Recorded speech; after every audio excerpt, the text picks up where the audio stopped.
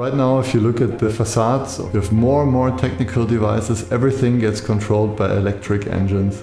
Imagine a building envelope which totally functions with sun shading, insulation, windows, but without a technical device.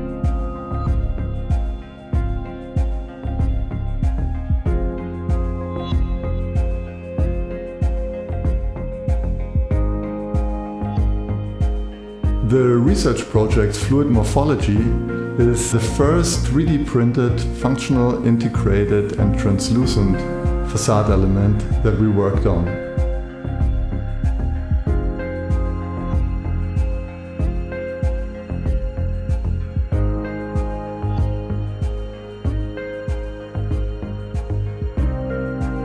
This topic of functional integration is really the key aspects what we're focusing on to give 3D printing a real purpose in architecture.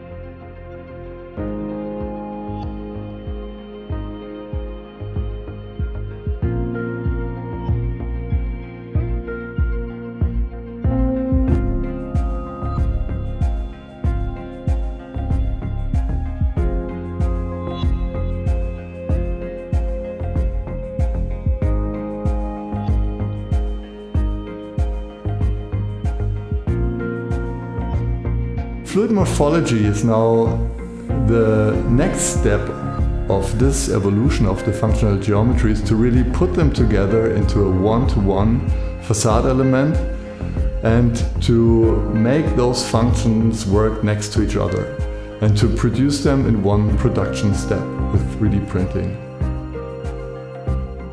To really prove your results of your design, it's elementary to put it into the real world in scale one to one. And we're creating a facade element with the measurements of 1 meter 60 by 280 and we will monitor it on the solar station at the TU Munich to see how the production method of 3D printing is really sustaining in the real world.